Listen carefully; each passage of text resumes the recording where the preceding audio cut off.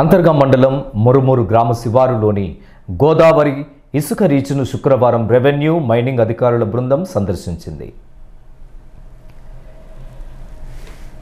Private చెక్పోస్టును ఏర్పాటు చేసి ఇసుక ట్రాక్టర్ల నుండి వసూళ్ళకు పాల్పడుతున్న ఉదంతంపై సిటీ న్యూస్ ఇటీవల ప్రత్యేక వార్తా కథనాన్ని ప్రసారం చేసిన విషయం విదితమే.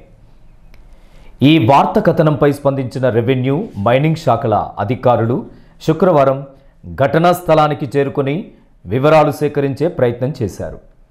గోదావరి నదిని ఆనుకుని ఉన్న పలువురు రైతులకు ట్రాక్టర్ యాజమాన్లకు మధ్య వివాదం నెలకొన్న నేపథ్యంలో క్షేత్రస్థాయి పరిస్థితులను గురించి భూ యాజమాన్లు ట్రాక్టర్ యాజమాన్లు స్థానిక ప్రజాప్రతినిధుల ద్వారా విషయాలు అడిగి తెలుసుకున్నారు. ఈ క్రమంలో ఒక్కసారిగా భారీగా వర్షం కురవడంతో భూ సర్వే నిలిచిపోయింది.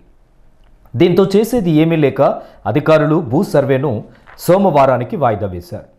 ఈ కార్యక్రమంలో సర్పంచులు Dharni Rajesh Badaraveni Swamy vice MPP Matta Lakshmi Mahender Reddy mining RI Parashuram revenue RI Rajender Reddy TRS మండల అధ్యక్షులు బానోతు తిరుపతి నాయక్ ట్రాక్టర్ యాజమాన్లు బీపీఎల్ రోడ్డుకు ఇరువైపులా పంట సాగు చేసుకుంటున్న రైతులు నాయకులు పాల్గొన్నారు.